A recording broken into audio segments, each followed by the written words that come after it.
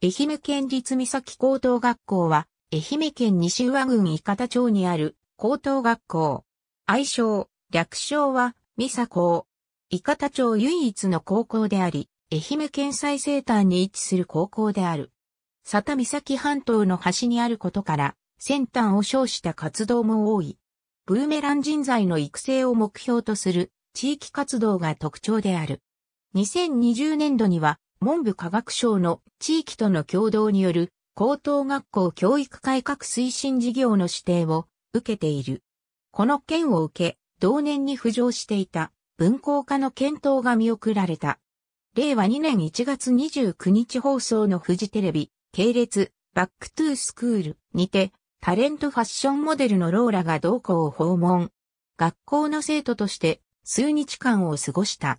町外、県外の生徒受け入れのための寮を二棟構えている。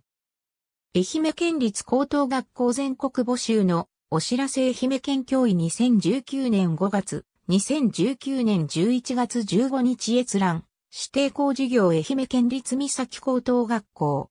ehm-misaki-h.esnet.ed.jp。2021年2月20日閲覧。遠隔愛媛県立三崎高等学校。